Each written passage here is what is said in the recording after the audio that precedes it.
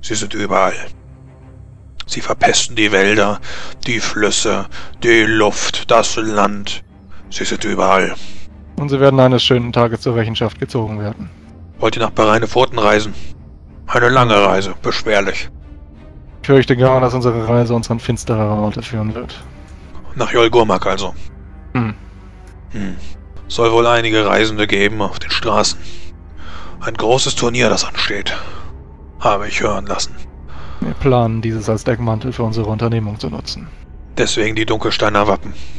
Richtig. Wenn ihr wünscht, können wir euch einige Tage begleiten, falls ihr zur nächsten Quelle auf demselben Weg liegt. Ich werde von hier aus nach Kleinwadstein reiten.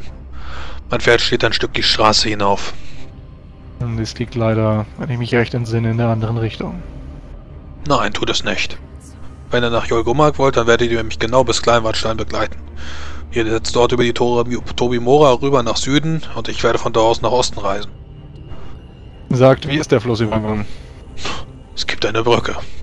Im Norden stehen wir und im Süden die anderen. Ihr solltet allerdings nicht so dumm sein und die Straße verlassen, so wie ihr es jetzt getan habt. Dort drüben sind die Dinge anders. Die Wälder sind tiefer, finsterer. Alt. Wie bekommen wir hier Wasser, wenn wir unsere Wasservorräte wieder aufgebraucht haben? Was trinkt man auf der anderen Seite der Tomimura? Schleim. In Jolgomak ist Wasser verboten. Ich weiß nicht, was sie da trinken. Ist das Wasser verboten? Es gibt in Jolgomak keinen einzigen Tropfen Wasser.